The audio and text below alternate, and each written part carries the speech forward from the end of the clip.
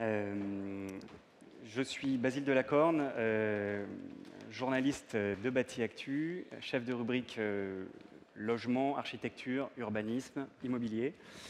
Nous allons accueillir donc Anouk Legendre, architecte associé de XTU Architecte, pour la présentation du projet Algesens, lauréat de Réinventer Paris. Merci de l'applaudir.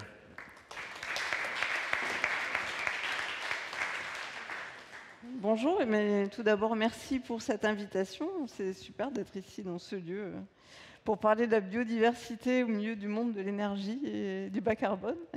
Euh, parce que la biodiversité, en effet, c'est une autre façon euh, d'atteindre le bas carbone et d'économiser l'énergie.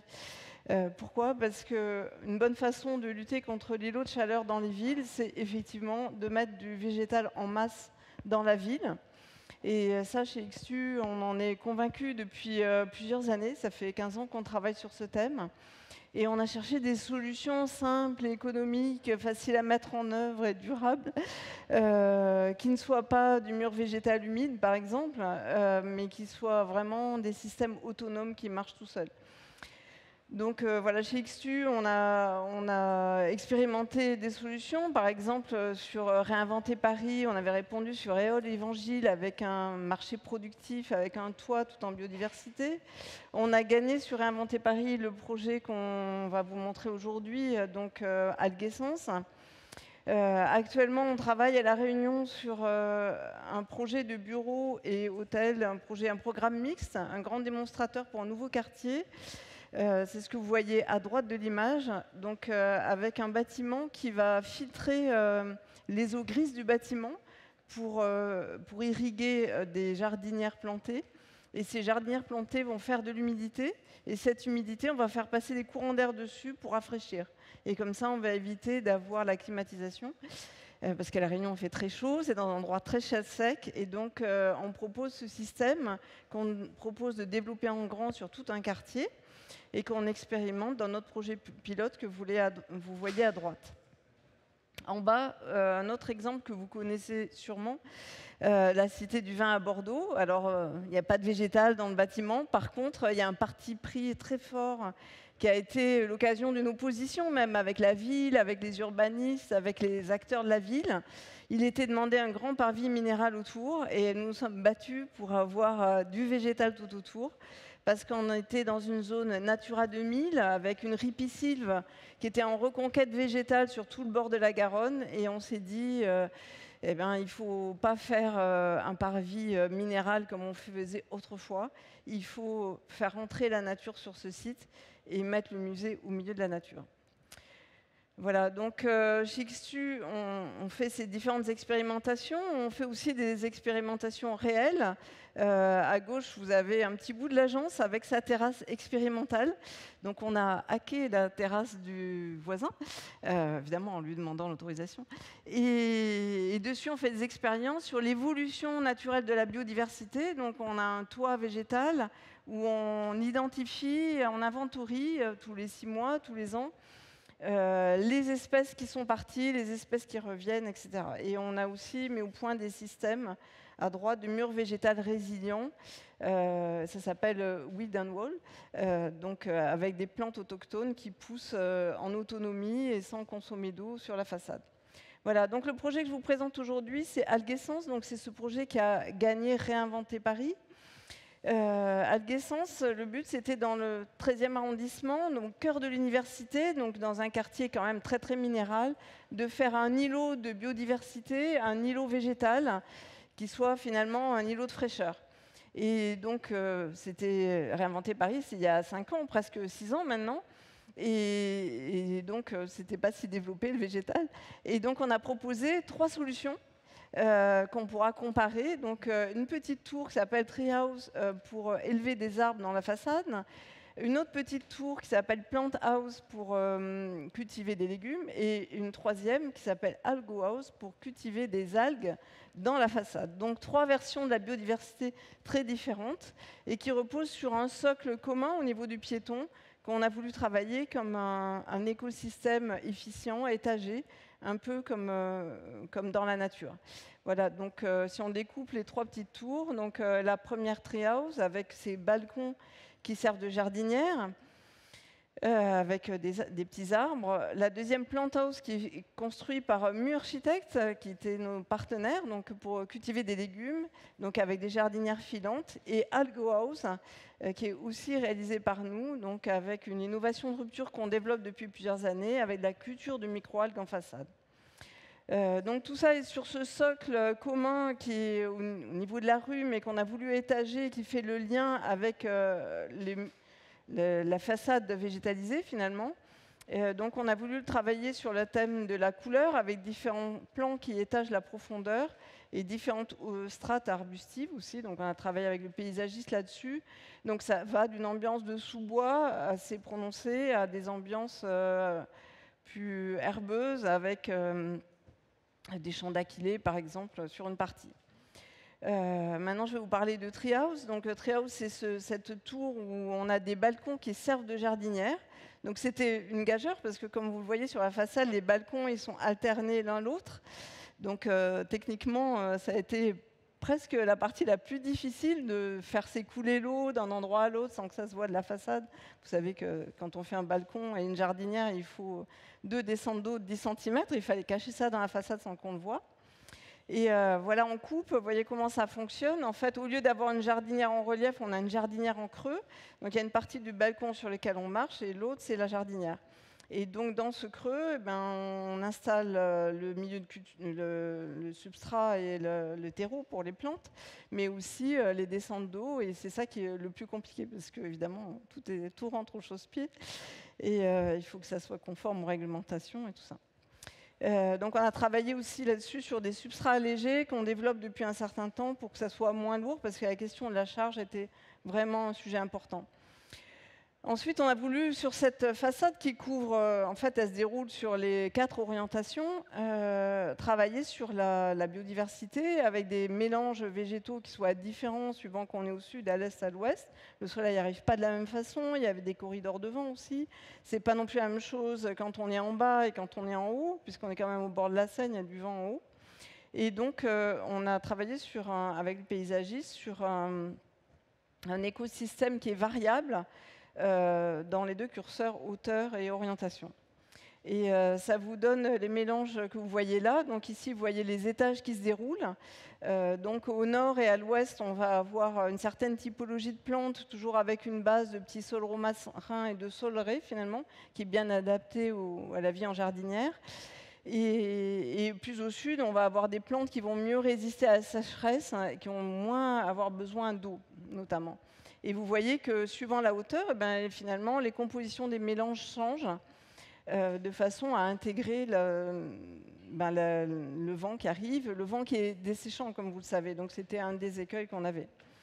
Sur le toit, on a un toit potager. Donc le but, c'était c'était finalement que les gens puissent avoir de la, je reviens en arrière, puissent avoir de la biodiversité chez eux, qu'ils puissent avoir des petits saules, c'est comme des petits arbres, euh, pour qu'il y ait différentes espèces animales aussi qui viennent. Ça, c'est quelque chose qu'on vit chez nous dans notre agence que je vous ai montré euh, tout autour. Il y a des grandes jardinières avec une saulerie qui a maintenant plusieurs années, donc qui est très développée. Elle fait 3 euh, mètres de haut et 3 mètres par-dessous, ça fait 6 mètres.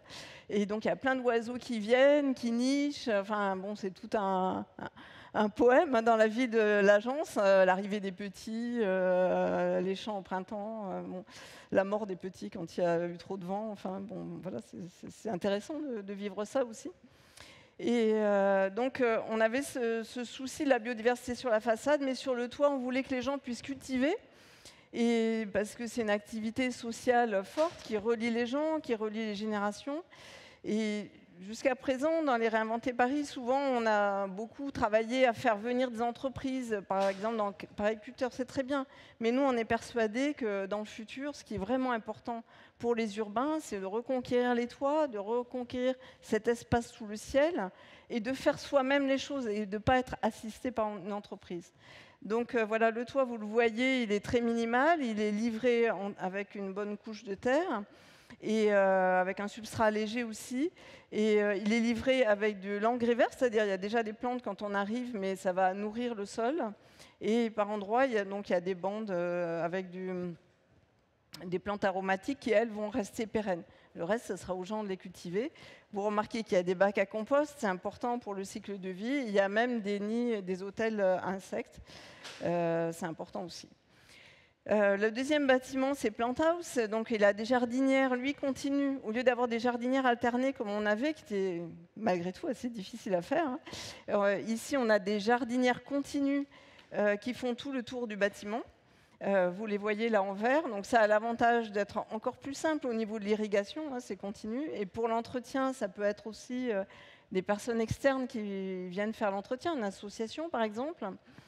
dans ce voilà, donc vous avez le schéma à droite qui vous montre euh, le schéma des jardinières. Euh, toujours planté avec un substrat allégé, un paillage, etc.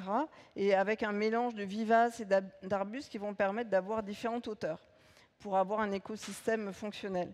Et là encore, suivant l'orientation, eh ben, on va avoir des côtés, on va avoir des fraisiers par exemple, euh, parce qu'on est au sud, il y a plus de lumière, et d'autres où on va être plus au nord et euh, plus à l'ombre, et donc on va peut-être avoir plutôt de la rhubarbe ou des espèces qui vont mieux supporter ça. Et donc ça vous donne à nouveau un mélange, euh, une composition en mélange qui varie tout au long de l'orientation et suivant la hauteur. Avec différents mélanges balcon par balcon, qui va permettre aussi de voir qu'est-ce qui pousse bien, parce que finalement ce projet c'est un projet d'expérimentation, Qu'est-ce qui pousse bien à cette altitude, euh, à cette orientation? On va pouvoir regarder qu'est-ce qui a été planté, puisqu'on le connaît, et au bout de quelques années, on va regarder qu'est-ce qui est resté, qu'est-ce qui a survécu, comment c'est vécu, etc. Donc c'est aussi un outil d'expérimentation. Sur le toit, on a aussi un, potager, toujours pour la même raison, la vie sociale, et euh, qui est elle aussi plantée en, végétal, euh, en engrais vert. Et vous remarquez qu'il y a une serre sur la droite. Donc cette serre, c'est une particularité de ce projet. Euh, elle court sur toute la verticale du bâtiment, tous les deux étages. Donc il y a une serre avec des agrumes à l'intérieur. Et cette serre, elle va servir aussi pour euh, faire les plans. Donc on va pouvoir, euh, les habitants vont pouvoir commencer plus tôt à préparer leurs plans pour, bah, pour cultiver quand ce sera la saison de planter. Voilà la serre qui est déjà plantée, livrée, plantée avec certaines espèces et notamment des fruitiers et des agrumes mais où il y a aussi la place de faire des petits travaux préparatoires avant l'installation au potager là-haut. Voilà, et le dernier projet, finalement, c'est Algo House. Euh, Algo c'est le projet le plus technologique de ces trois tours. C'est une technologie de rupture. Euh, c'est le capteur solaire biologique de demain. Au lieu de produire de l'électricité, on produit de la biomasse de façon accélérée avec euh, un système de façade c'est comme un capteur solaire, mais on produit des microalgues, c'est-à-dire du plancton. Ça vit dans l'eau, donc c'est une façade remplie d'eau et euh, qui, bénéficie euh, de la lumière du soleil. Donc euh, les microalgues vont se multiplier avec la lumière du soleil. Donc ça va faire une biomasse qui va se multiplier et on va pouvoir la récolter, on va pouvoir faire des super aliments avec, des protéines végétales. Vous savez qu'aujourd'hui, il y a quand même une réflexion sur la protéine végétale plutôt que la protéine animale. C'est une façon euh, de sauver la planète aussi. Et cette façade, elle vient en double façade de la façade étanche du bâtiment, et donc elle va protéger en hiver, et elle va protéger aussi en été des surchauffes, parce qu'elle est maintenue à température. Donc euh, en fait, derrière, ça va être une température euh, un peu régulée. Et dernièrement, euh, dernière chose, cette façade, elle, va euh, capter l'énergie du soleil, mais aussi son énergie thermique. Donc, comme les microalgues ont les mêmes besoins thermiques que les humains, elles n'aiment pas avoir trop chaud. Donc, on va extraire cette énergie thermique et on va l'envoyer dans les ballons d'eau chaude du bâtiment. Donc, ça va faire comme un capteur solaire thermique. Donc, ça fait plusieurs choses en un. Euh, ça produit de l'alimentation ou des médicaments. Euh, ou des super aliments, ou de la cosmétique, ou, des médicaments, je l'ai déjà dit. Euh, mais aussi, thermiquement, ça va permettre euh, ben, de chauffer les ballons d'eau chaude et d'économiser de l'énergie sur l'ensemble du projet. des algues comme ça, il y en a sur, les sur la façade, mais aussi sur le toit, parce qu'il faut avoir une certaine surface de culture pour pour que ça soit rentable, euh, l'opération. Donc, euh, ça sera la première façade mondiale avec ce système. Donc, c'est vraiment une première. Euh, c'est aussi la première fois qu'on en fait un démonstrateur commercial parce qu'on avait déjà fait des, prototypes avant.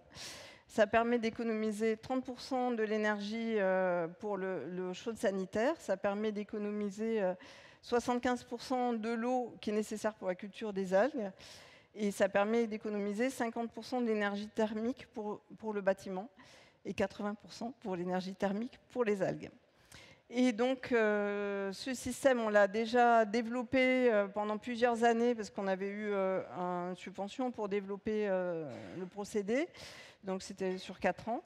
Donc, de façon à étudier, à vérifier la symbiose avec le bâtiment et tous les automatismes. On a fait plusieurs prototypes de ça. Donc là, ça sera la quatrième génération, dont certains qui sont en ce moment encore en activité à Algo Solis à Saint-Nazaire et euh, pour être sûr que ça marche. Et donc avec ça, euh, c'est comme un champ vertical. Dans ce champ vertical, on peut cultiver aussi une biodiversité euh, de microalgues. Simultanément, on peut cultiver trois souches, celles qu'on va vendre en priorité aux gens du quartier, mais aussi d'autres souches qui pourraient être utiles aux compagnies de pharmacie, par exemple, qui voudraient expérimenter des biomédicaments. Donc quelque part, c'est aussi une façon de ramener de la biodiversité dans la ville tout en, régulant la température de façon très passive, comme un capteur solaire thermique. Voilà, je vous remercie.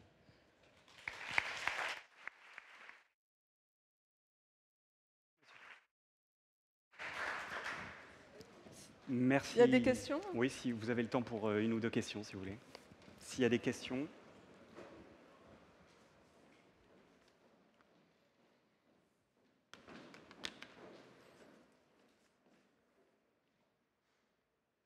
Bonjour. Bonjour. Bakowski, architecte. Euh, j'ai deux questions. Euh, qui doit s'occuper de, l'entretien des espaces verts? Donc, qui sont euh, grosso modo sur les balcons privés, donc c'est l'accès au logement qui se pose. Et puis, c'est la question des moustiques. Bon, en fait, c'est. Du quoi Les moustiques. Par exemple, c'est les retours d'expérience en Chine. Il y, a, y, a une tour, y a une tour végétale qui est construite et donc là, actuellement, il y a des, il problèmes de, avec des moustiques. je comprends, ce n'est pas les mêmes euh, climats, mais est-ce qu'il y a des réflexions sur, euh, sur ça? Oui, alors euh, il y a plusieurs questions. Alors ce qui est intéressant là-dedans, c'est que on a plusieurs cas de figure, comme vous le voyez sur l'entretien. Il, y a trois tours. Hein. Et c'est aussi trois cas de figure d'entretien différents. Parce que c'est aussi euh, trois populations différentes. La première à gauche, c'est de l'accession. Euh, donc normalement, les habitants vont entretenir eux-mêmes, ça sera dans leur cahier des charges. S'ils ne souhaitent pas, ils peuvent faire appel à une compagnie qui va entretenir. Évidemment, les espèces qu'on va avoir là, elles ne nécessitent pas d'entretien. Donc peut-être un fauchage une fois par an ou euh, retailler un peu les arbres s'ils sont trop grands. La tour du milieu, elle, c'est à moitié du locatif, à moitié de l'accession. Euh, l'expérience qu'on a des bâtiments précédents, parce qu'on a déjà fait des expériences de bâtiments avec du végétal, notamment à, Nanterre, où on a livré un grand bâtiment avec euh, trois tours maraîchères, et certains étaient en accession et d'autres en locatif. Et on s'est aperçu que dans l'accession, ça marchait très bien, tout l'entretien, euh, ça marchait tout seul. Il y avait une dynamique formidable entre les gens. Dans le locatif, les gens avaient moins l'habitude, parce qu'ils ne sont pas forcément là pour longtemps, ils ne vont pas investir le même temps, etc. Et euh, donc, euh, c'est pour ça que aussi la tour du milieu, qui est à la fois en locatif et en accession, elle a des coursives continues, ce qui permet de faire à une compagnie qui soit très. Enfin, si certains propriétaires ne veulent pas faire l'entretien, ils le déclarent. Et on a une compagnie ou une association de jardiniers qui peut venir faire l'entretien par l'extérieur, par les balcons, sans les déranger. Comme c'est des balcons continus, c'est très facile.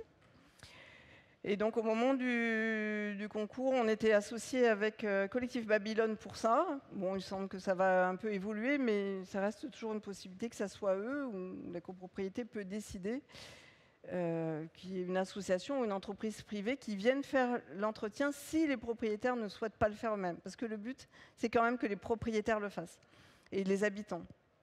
Et la dernière, euh, la dernière façade, Algo House, donc vous avez compris, c'est comme une, usine de biotechnologie plate qui est collée au bâtiment, qui fait une symbiose avec le bâtiment. Donc c'est de la haute technologie, donc ça ne peut pas être les habitants qui font ça, d'ailleurs c'est une résidence étudiante. Et donc, euh, pour ça, on crée une société avec nos partenaires spécialistes dans les microalgues. Euh, bah, sans doute qu'elle va être créée la semaine prochaine d'ailleurs, parce que le chantier démarre le 1er octobre. Donc euh, voilà, c'est la condition pour que ça démarre, c'est que, que la société soit créée. Et on s'engage, on s'est déjà engagé d'ailleurs, collectivement, pendant 20 ans à exploiter cette façade. Donc, ce qui va permettre d'avoir aussi des retours sur la façon dont ça s'exploite et comment on peut l'optimiser pour les générations futures de biofaçades. On appelait ça des biofaçades. Voilà, donc trois cas de figure, trois cas différents d'habitants, propriétaires, locataires ou étudiants. Euh, c'est intéressant, on pourra faire le comparatif. En fait, c'est aussi un objet d'expérience des différentes façons de mettre du végétal dans la ville. Merci beaucoup. Voilà. Merci Anouk Legendre. Euh, bravo pour euh, ce projet.